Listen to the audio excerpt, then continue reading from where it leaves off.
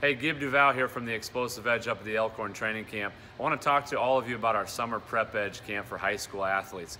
If you're looking for a place to train, if you're looking for a place to get pushed and actually see scientific performance gains, Xplosive Edge and our Prep Edge is for you.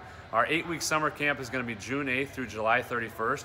We're going to be offering camp times all day long, and we're going to be limiting it to groups of six no more than six in our weight room at a time. But the benefit of training here is we have 20,000 square feet of indoor turf space where we do speed and agility.